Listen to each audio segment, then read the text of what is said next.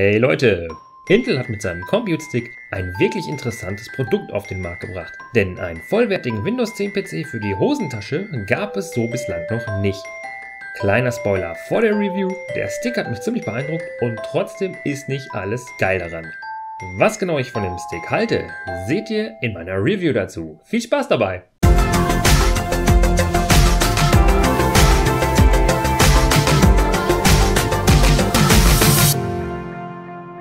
In der Verpackung findet ihr eigentlich alles, was ihr zum Durchstarten braucht, abgesehen von ein paar Kleinigkeiten, aber dazu später mehr.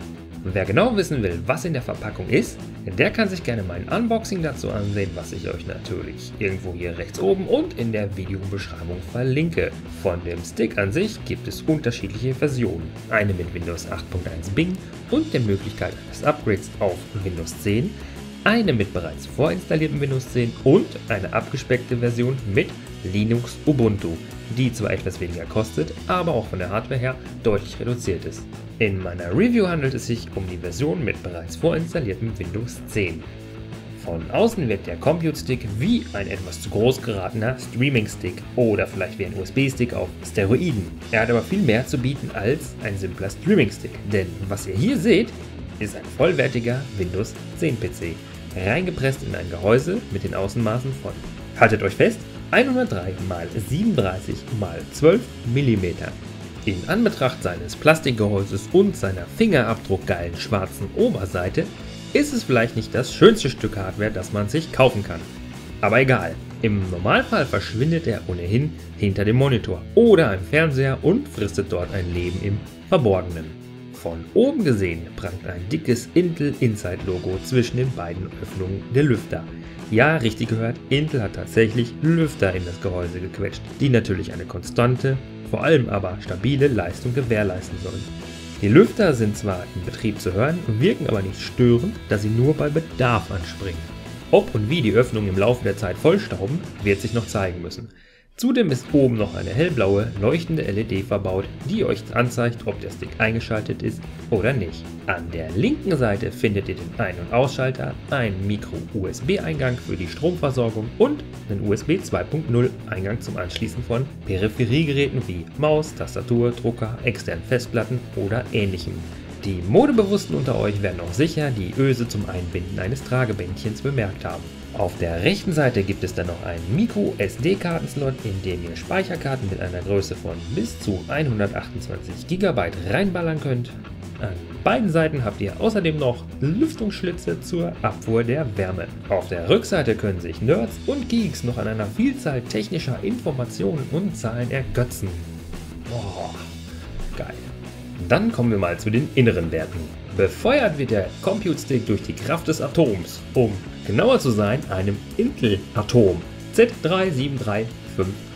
Das ist eine Quad-Core-CPU mit 1,3 GHz, die bei Bedarf bis 1,8 GHz taktet. Dazu gesellen sich noch 2 GB DDR3 RAM und ein 32 GB großer interner Speicher, von dem sich das Windows 10 gut und gerne 10 GB gönnt. Deswegen auch Windows 10. Ein zusätzliches Speichermedium wie eine MicroSD-Karte ist also Pflicht.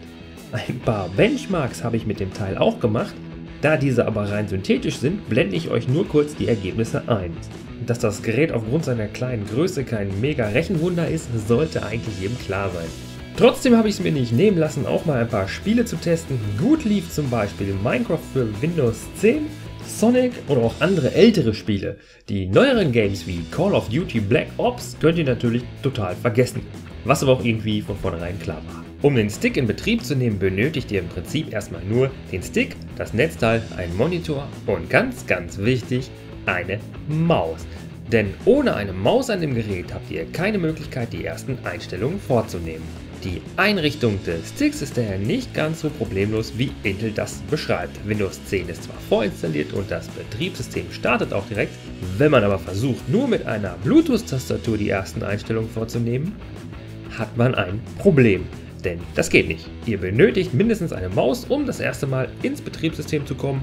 Danach könnt ihr dann mit der Intel Remote App und einem Tablet oder mit einer Bluetooth-Tastatur weiterarbeiten. Das erste, was ihr machen solltet, nachdem ihr im Betriebssystem angekommen seid, ist eine Installation der aktuellen Treiber für Grafikkarte und dem WLAN-Empfänger. Link dazu natürlich in der Videobeschreibung. Anfangs habe ich erwähnt, dass zum vernünftigen Arbeiten mit dem Stick was fehlt. Und das ist je nach geplantem Einsatzgebiet komplett unterschiedlich. Mir sind drei Möglichkeiten eingefallen, wo man den Stick ganz gut einsetzen könnte und was man dazu braucht. Und hier geht's weiter. Als PC-Ersatz für normales Surfen im Internet, einfache Bildbearbeitung, Videos in HD auf YouTube gucken, hin und wieder mal einen Brief mit Word schreiben und zum Arbeiten in Excel reicht die Leistung des Sticks vollkommen aus. Das ist für die meisten Hardcore-User vielleicht zu wenig, aber die Eltern oder Großeltern machen meistens nichts anderes. Anstatt den Eltern jetzt also eine Höllenmaschine zu kaufen, die niemals richtig ausgereizt wird, kann man auch den Compute Stick in Erwägung ziehen. Die Vorteile liegen auf der Hand. Klein, leise, stromsparend und aktuelles Windows 10 Betriebssystem. Mit dem Stick alleine ist es dann aber nicht getan. Mal abgesehen von Maus und Tastatur, die ihr ohnehin benötigt, empfehle ich euch dringend noch die Anschaffung eines aktiven USB-Hubs, um weitere Geräte wie Drucker oder externe Festplatten anschließen zu können. Falls keine Lautsprecher im Monitor verbaut sind oder dieser keinen Audioausgang hat, wäre noch die Anschaffung eines HDMI Audio Splitters ratsam, denn sonst habt ihr nicht viel von Multimedia. Option 2 Home Entertainment. Wohl für die meisten am interessantesten ist die Möglichkeit, den Stick als Multimedia-System im Wohnzimmer zu nutzen. Denn mit einem vollwertigen Windows-System bekommt man auch den dümmsten Fernseher smart. Während sich die großen Amazon, Google und Apple mit ihren eigenen Systemen gegenseitig Konkurrenz machen, könnt ihr mit dem Compute Stick auf sämtliche Mediatheken zugreifen. Alles, was ein Browser darstellen kann, läuft auch auf dem Stick. Retro-Fans können zusätzlich noch diverse Emulatoren installieren und ihre geliebten Spiele am großen Fernseher zocken. Die Bedienung am Fernseher als Media Center kann bequem über die Intel Remote Control App erfolgen oder man schafft sich zusätzlich noch eine Maustastatur-Kombi wie etwa Logitech K400 Plus an. Die dritte Möglichkeit, die mir eingefallen ist, ist für Leute auf Reise oder Business-Leute. Wer viel privat oder geschäftlich unterwegs ist, wird das zu schätzen wissen, mit dem Stick immer seinen eigenen PC dabei zu haben. Geschäftsleute kommen erst gar nicht in die unangenehme Situation, dass zum Beispiel ein Dateiformat während einer Präsentation beim Kunden nicht erkannt wird. Abends im Hotel können dann vorab gespeicherte Filme angesehen werden, hier ist das Mindeste, was man dem Stick gönnen sollte, eine Micro-SD-Karte, um zusätzlichen Speicher für diverse Filme oder Musik dabei zu haben. Kommen wir jetzt zu dem, was mir überhaupt nicht an dem Stick gefallen hat. Und fangen wir dabei ruhig mal mit dem größten Kritikpunkt an.